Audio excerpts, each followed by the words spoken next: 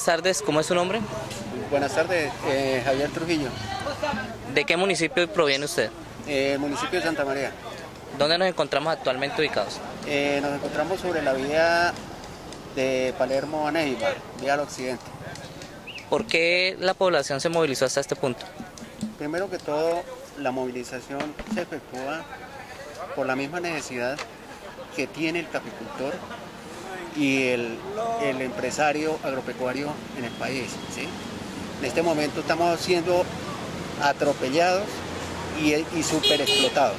¿Por qué nos están explotando? Primero que todo, el, el costo que estamos asumiendo de producción nos está generando pérdidas por la sencilla razón de que los insumos que estamos utilizando son muy costosos y no tenemos un subsidio. Más cuando el Estado en este momento, eh, dentro del presupuesto que viene para el 2014, ha incluido el 1%, ha destinado el 1% para el sector agropecuario del país, que eso es una miseria para lo que genera el, sector agropecuario, porque el sector agropecuario es el que genera la materia prima de las principales industrias en Colombia, más un gran porcentaje de empleo. Fuera de eso, el comercio que genera.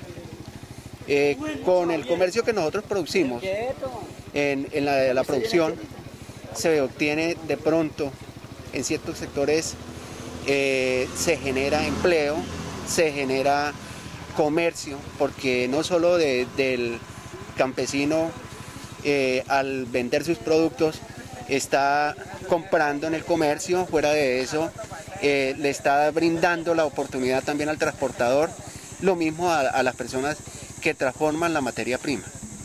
¿Qué opina usted frente a las declaraciones del presidente Santos donde dice que no hay un paro general nacional del agro?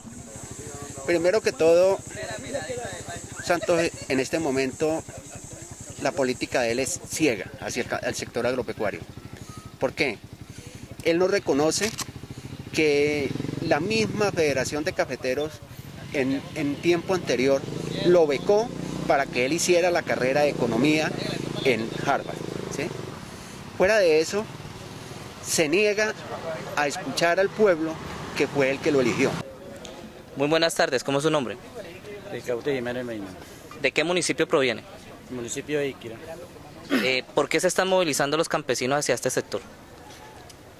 Nosotros los campesinos nos movilizamos del municipio hasta estos sectores por la problemática de la crisis en que estamos, nos encontramos todos los agrarios. Por el sector agropecuario nos estamos muy fracasados por el sistema de que lo que es el café, el frijol, todo producto que cultivamos en el campo.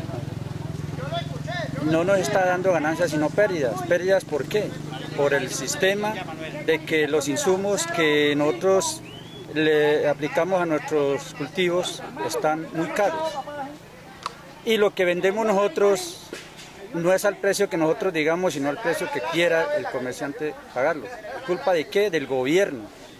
Nosotros no estamos aquí por presión de nadie es particular ajeno al gobierno, que el gobierno es el que nos tiene aquí en estas vías, a postulado, por la sencilla razón que él a nosotros los campesinos nos tiene eh, como guerrilleros, que nosotros nos movemos por medio, que nosotros somos movilizados por fuerza de la guerrilla, es una gran mentira. Entonces el guerrillero será él.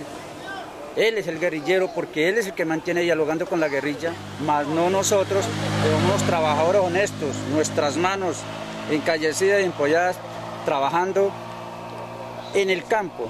El campo nosotros como agricultores somos los que le damos la comida al pueblo, porque yo creo que en las calles de Neiva, en esta carretera, en los pavimentos que se encuentran en las ciudades, no se da la agricultura que nosotros producimos en el campo para mantener al pueblo.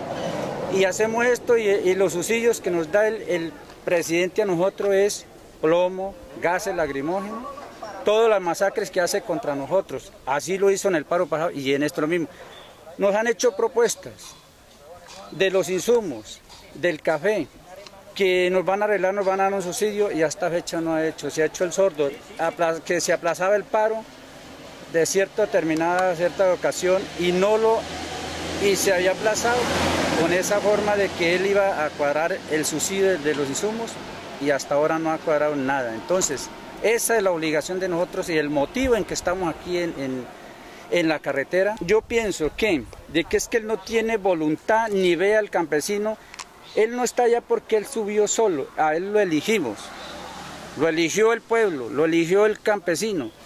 ¿Para qué? Para que nos solucionara nuestros problemas y en vez de solucionarnos lo que he hecho es masacrar los campesinos. Entonces esas son las, problemáticas que nosotros debemos de que él no tiene ojos para el campo sino para los ricos, defender el rico. Él, él guardia al rico, al pobre no lo guardia sino que lo desprotege, lo tiene desprotegido, totalmente desprotegido al campo eh, cómo nos va a poder competir con el TLC, con, con países como el Ecuador, otros países que son hasta más pobres que Colombia, pero son subsidiados. Y nosotros no tenemos subsidio ninguno. Entonces, ¿eso qué hace? Colombia es muy rico, le entra mucha plata a Colombia, pero también hay mucho ladrón en los altos mandos, como es el Congreso, todo lo que se llama los altos mandos. Y a nosotros nos tienen por lo peor cuando nosotros somos honestos. ¿Cuánto está valiendo un día de jornal para un campesino?